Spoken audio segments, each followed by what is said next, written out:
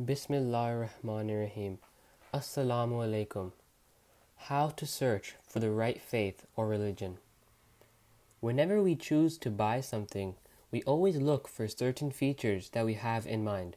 For example, when making a choice to buy a phone, we would first test to see if it could make calls or not. This is because the primary purpose of a phone is for communication. If you fail to make a phone call on it, no matter how smart and advanced it is, you are not going to keep it. You may find some extra features in it, such as a camera, games, the App Store, etc. However, the most important aspect of a phone is this unique ability to connect with other people at a long distance. Similarly, when we are searching for a religion, we should keep in mind whether or not it fulfills two basic requirements. The first requirement is the ability of the religion to connect us with an all powerful, omnipresent divine being that it claims to be originating from. We can call him God, Allah, or by any other name. The second requirement of a religion is its ability to connect us with other humans by giving us a framework of teachings to improve our social behavior. Just as when choosing the perfect phone, we look at the calling features it comes with, similarly, with regards to faith too, we must look into what distinguishing features it has. If a religion, right at the outset, slams shut the door of any communication with a divine being, or claims that its God used to speak in the distant past but not anymore, why would anyone be interested in it? It's like selecting a phone which says that our best feature is that you can't make a phone call on it. Therefore, if any religion or religious denomination closes the door to divine communication, it has discredited itself of even being called a religion. Secondly, when choosing any piece of technology, we also look at the extent to which it extends our human capabilities.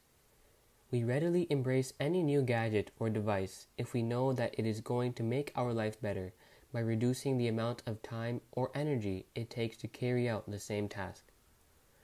This is exactly what we should keep in mind while searching for a faith.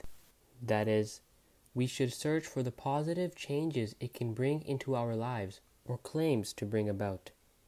We should see whether or not it can extend our spiritual abilities, such as emotional well being, and grant us spiritual insight concerning the things which we cannot see with our naked eyes. The latest smartphone always comes with enhanced camera functions and a great sound quality.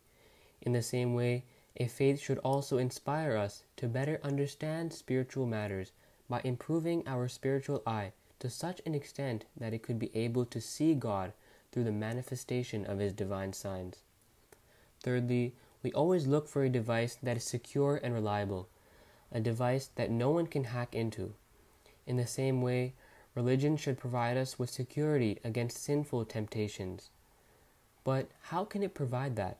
Well, we automatically pay our attention to our behavior, conduct, and appearance when we see a camera pointing towards us.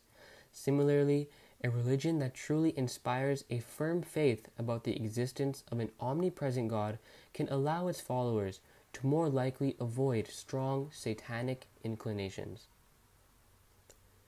We experience this very thing in our physical life as well. We do not consciously swallow poison or stand still in front of a wild animal. Rather, we take the necessary precautions to avoid ourselves from any type of harm.